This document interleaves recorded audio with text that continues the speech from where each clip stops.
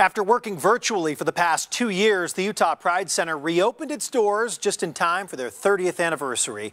The event included free food from various food trucks and chances to mingle with other Pride Center attendees and resource groups.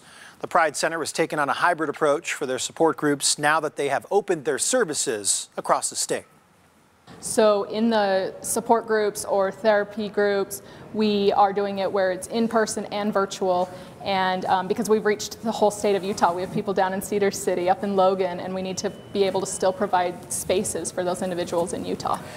The Utah Pride Center has different events happening every day. We'll link you over to their calendar on our very own website, fox13now.com.